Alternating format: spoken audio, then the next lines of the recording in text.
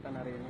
Tentang kegiatan hari ini kita menyikapi dengan persoalan-persoalan negara khususnya yang aktual sekarang ini ada rencana deklarasi di Lampung ini yang sudah jadi viral itu Taker 2019 ganti presiden.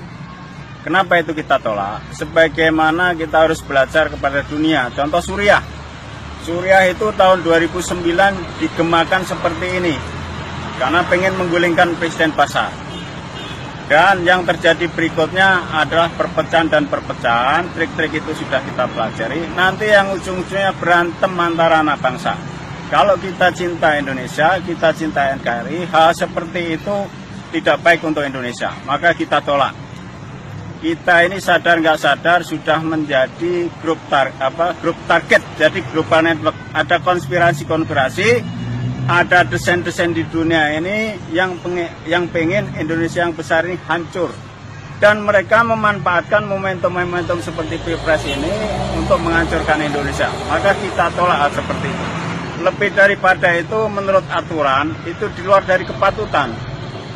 Contoh kita lihat di pasal 492 nomor 7 tahun 2017 itu menjelaskan bahwa kita ini belum masuk masa kampanye jadi tatkala mengumpulkan massa, berorasi, mengajak sekelas satu yang marah pada benci pada pimpinan negara yang merupakan simbol negara itu sudah mengarah pada perbuatan makar. Maka menurut saya itu harus dihentikan. Apabila Nino Warisman masih mau datang ke bandara, nanti akan kita cegat. Mau berapa masa kita, kita tandingi. Saya akan buat masa tandingan. Itu kira-kira. Ini demi Indonesia. Ini dari Pringsewu awalnya ya Bang? Untuk Lampung sendiri? Nah, kita walaupun kita berada di titik koordinat Kabupaten Pringsau, kita juga melakukan koordinasi-koordinasi dengan provinsi dan 14 kabupaten kota yang ada. Bahkan kita juga komunikasi dengan Jakarta.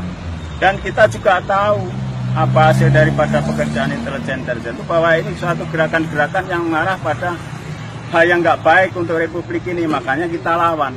Kenapa kita ngelawan? Ini saudara-saudara kita ini perwakilan-perwakilan dari ormas-ormas ini sepertinya tahu hal seperti itu. Jangan dianggap bodoh. Maka harus kita lawan.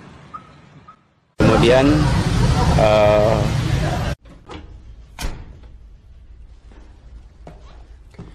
Wir können den Gruppenführer Fegelein nirgendwo finden. Er ist nicht in der Bunkeranlage. Was soll das heißen? Sie können Fegelein nicht finden. Dann suchen Sie ihn! Ich will Fegelein sehen! Sofort! Wenn er sich ohne Befehl entfernt hat, ist das Fahnenflucht, Verrat. Bringen Sie mir Federer